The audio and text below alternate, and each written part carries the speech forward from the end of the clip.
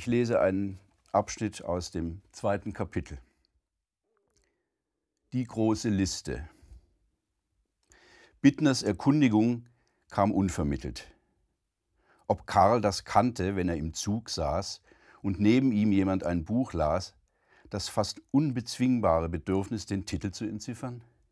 Doch, das kannte Karl auch. Bittner hatte es wieder einmal erraten.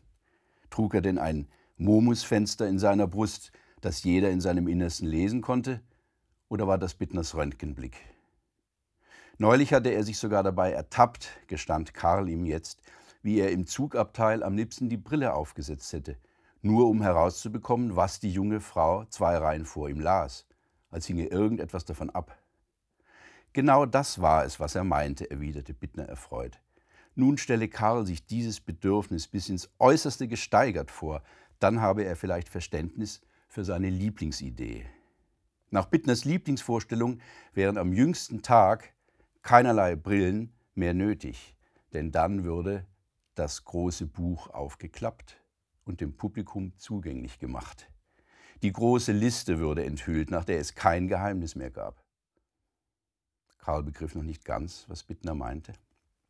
Hatte Karl vielleicht schon von der universellen Turing-Maschine gehört, aber das müsse er jetzt auch gar nicht erklären, das war theoretische Physik. Ganz anders und im Bilde gesagt, alles, was passierte, hinterließ im Feinstaub des Kosmos einen Abdruck, und auf diese Abdrücke hätte man dann ungehinderten Zugriff. Er stelle sich eine Art kosmischer Blackbox vor. Karl wusste, dass Bittner Flugangst hatte, da musste ihn jeder ungeklärte Absturz, nachdem Tauchgeräte den Boden des Atlantiks absuchten, an seine Idee erinnern. Bittner war wieder stehen geblieben und rieb die Fingerspitzen aneinander, während er seinem schwierigen Lieblingsgedanken nachsann. Karl spürte, dass er ihn nicht alle paar Tage zum Besten gab. Vielleicht war es sogar eine Premiere und eine kleine Ehre für Karl, Zuhörer und Zeuge zu sein. Genau genommen wäre es nicht der jüngste Tag, Bittner nahm die Hände auseinander und hielt den Zeigefinger nach oben. In seiner Vorstellung wäre es die Sterbesekunde. Einige Physiker wollten, dass die sich aufblähe in einer Zeitblase, die nie platze. Alles würde offenbart. Wie sich das wohl anfühlen würde? Bittners Augen waren geweitet.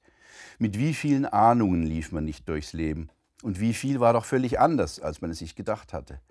Ganz selten einmal öffnete sich ein Blick hinter den Vorhang und man spürte einen Hauch vom wirklichen Treiben. Das hieß vom Treiben der Wirklichkeit, von der man durch sein rupfendichtes Ideengespinst sonst so gut abgeschirmt war. Dass in Wahrheit alles ganz anders sei, wusste das instinktiv nicht jeder. Dieses ganz spezielle Erstaunen dann, wenn man einmal kurz hinter den Vorhang sah, halb Glücks, halb Schaudergefühl und das in einer nicht abreißenden epiphanischen Kette. Karl fragte sich, ob Bittner aus einem schon geschriebenen Essay zitierte oder ob er frei entwarf. Das leichte Stocken zwischen den Sätzen sprach für Letzteres, aber dann druckreif. Das konnte er eben immer noch, auch wenn es ja angeblich bergab mit ihm ging und der Wind schon durch alle Ritzen pfiff.